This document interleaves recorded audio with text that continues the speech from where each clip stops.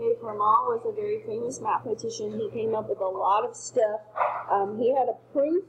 Uh, it was his last proof uh, that he claimed that he proved, but he didn't really prove it. And many, many people spent many, many years trying to prove um, his last proof. And I think they finally did, but it was way long after um, he had first come up with it. But anyways, uh, he has this theorem on local extrema uh, that your relative extrema occur only at critical numbers. Okay, so the, this topic, I've seen this tested uh, in those like, which one of the following statements are true kind of questions. Um, so, if your value is a local minimum or maximum, then where that occurs is a critical number of your function. Okay? If something is a local minimum or maximum, then it occurs at a critical number. Now, it's not necessarily true the other way around. Just because something's a critical number does not guarantee that you have a local minimum or maximum there. It's one of those statements that you have to be careful about. Okay? So if it's a local minimum or maximum, then it occurs at a critical number, not necessarily vice versa. You do not always have a local min or max at every critical number. Okay? Um, so here's an example of that. X cubed. Okay? x cubed has the derivative of 3x squared. And 3x squared obviously equals 0 at 0. But if you look at the graph of x cubed, at x equals 0, that's not a maximum or a minimum. Okay? That is not a maximum or a minimum. Um, it changes what we call concavity, which is what we're ready to talk about in the next couple of days. Okay, this part of the curve is what we call concave down. Okay, so you have kind of curved downward. This part of the uh, curve is concave up. Okay, um, but that's not a local minimum or maximum. Even though zero is a critical number, that's not a minimum or maximum for this function. So, if you are asked to find extrema on a closed interval, then first of all you need to find your critical numbers. Okay, how do we do that? We take the derivative, set it equal to zero, and or find any places where it's undefined. Then, and this is the part people tend to forget, and sometimes I'm not going to lie, even I forget it, um, you have to evaluate your function. Um, this is not the part you forget. Number two, identify your function, evaluate your function at each critical number. Everybody remembers that part. It's the third part that people tend to forget. You've got to evaluate the value of your function at your endpoints. And here's why. Um, this example that I have drawn up here, okay, uh, obviously C and D are critical numbers, okay? They, there's a local minimum at C and a local maximum at D. Uh, C is actually the absolute minimum. D is not the absolute maximum though. The absolute maximum on this interval occurs at the first endpoint. If you do not check the endpoints, you have no way of guaranteeing that those local maxes and mins are actually absolute maxes and mins. So you can't forget to check the endpoints as well. So, uh, let's do a few problems here. We're going to find the extrema of the function 3x to the fourth minus 4x cubed on the interval from negative 1 to negative 2. So step 1 is to take the derivative. f prime of x is 12x cubed minus 12x squared. We've got to set that equal to 0. It's not going to be undefined anywhere because it's a polynomial expression. Polynomials are never undefined. Uh, if we set that equal to 0, we're going to have to factor, take out a GCF. So the GCF is 12x squared, and we take that out, we're left with x minus 1. So we've got 12x squared is equal to 0, so that says x equals 0 is a critical number, and x minus 1 is equal to 0, so that says x equals 1 is a critical number. Now, we weren't just asked to find the critical numbers, we were asked to find the extrema. So, we need to come over here and we need to find f of negative 1 because it was our endpoint, uh, f of 0, f of 1, and f of 2. I think it's helpful to get in the habit of just listing them all before you start solving for them so that you remember, got to check the endpoints. Okay, I have to check the endpoints. I can't just check my critical values. Now we're plugging this into the original because we want to know the values of the original function because we're talking about the maxes and mins of the original. Okay, so negative 1 to the fourth is positive 1, so we have 3 plus 4 because negative 1 cubed is negative 1. Negative 1 times negative 4 is positive 4, so that gives us a value of 7 when x is negative 1 on the original function. When we plug in 0, we get 0. When we plug in 1, we get 3 minus 4, which is negative 1. And f of 2, 2 to the fourth is 16, times 3 is 48. 2 cubed is 8, times 4 is 32. 48 minus 32 is 16. So, on the interval from negative 1 to 2, let's see here, this is our minimum, and this is our maximum.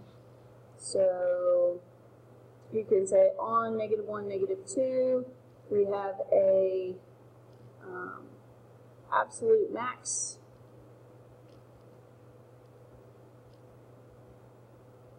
at 216 and an absolute minimum at 1 negative 1.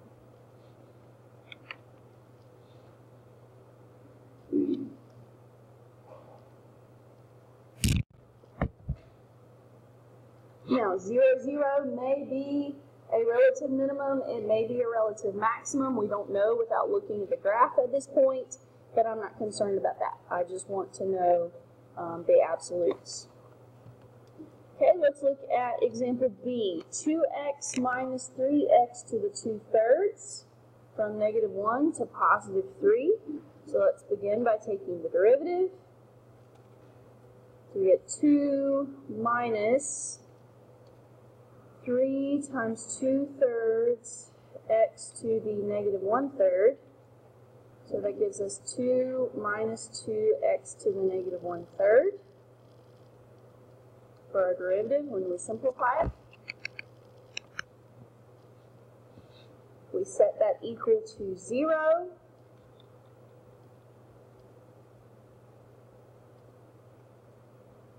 I'm going to add the 2x to the negative 1 third since it's negative.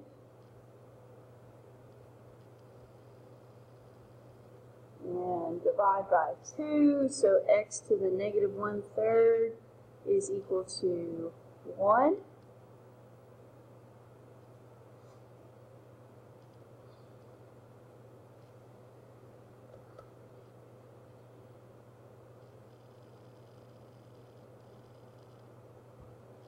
Okay, um, technically to solve this, we need to raise both sides to the reciprocal power.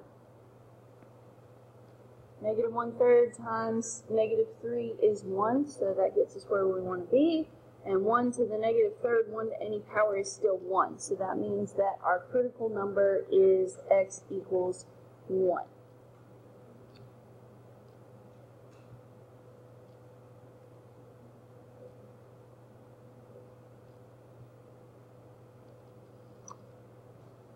There's another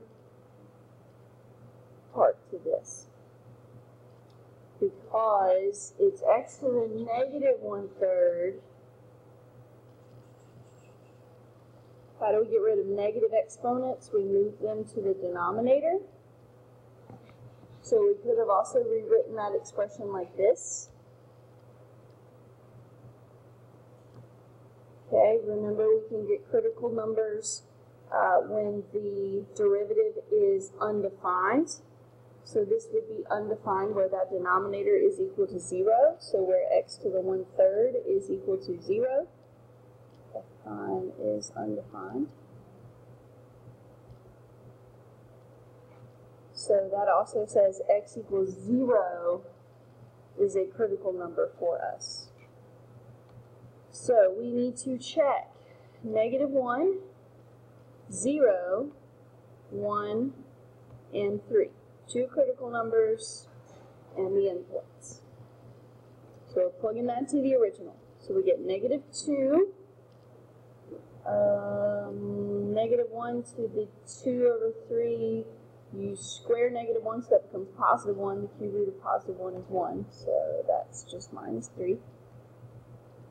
So that's negative 5. f of 0 is 0. F of 1 would be 2. Uh, same result as negative 1. Nope, not the same result. Positive 2 minus 3, so negative 1. And then plug in 3, 2 times 3 is 6, minus 3 times 6 to the 2 thirds, the cube root of 36, which is not a nice pretty number. We do need to find out what its value is because we've got to be able to compare it to the others. So 6 minus 3 times the cube root of 36. Negative 3.905. So that didn't change anything. This is still our min. Negative 1, negative 5 is the min and 0, 0 is the max. Now, um, right now, these are typically calculator inactive questions, but I do want to show you so that you can see um, to confirm. I do encourage you to do this at this point while you uh, are allowed to use your calculators, just to make sure you don't miss anything, especially with these weird functions with um,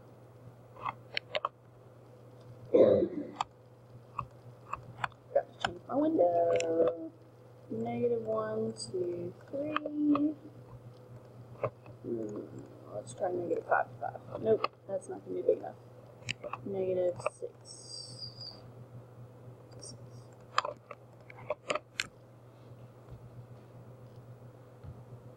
Okay.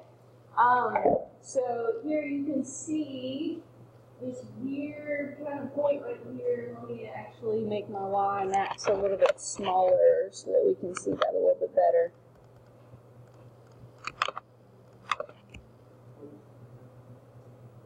Okay, uh, there's a cusp there at zero. Um, it's that sharp point, uh, but it is a maximum.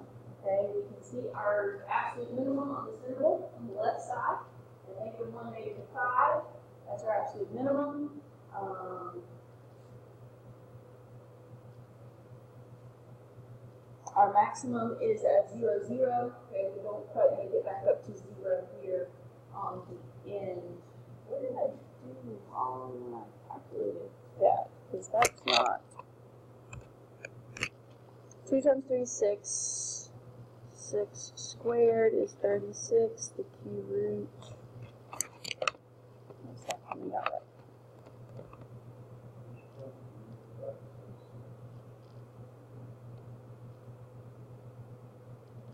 Hmm.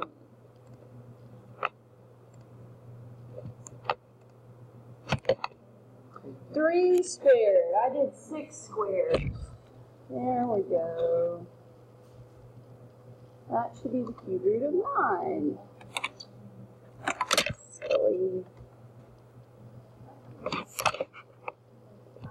And that's why, if you have the calculator, you should check your results graphically. That's much better. Negative 0.240. Okay, it doesn't change the fact that it's a maximum, but now it just matches my graph. Okay, I get really, I get pretty close to the x-axis there, but um, this value over here is still zero. Um, so that is still our maximum on the interval. And notice that 1, negative 1 is a relative minimum, okay? Uh, now, we're not focusing on that right now. We wouldn't be able to tell that without having our calculator, and this is supposed to be a non-calculator exercise, but um, I do want to point that out. That 1, negative 1 is a minimum, so it's relative, okay?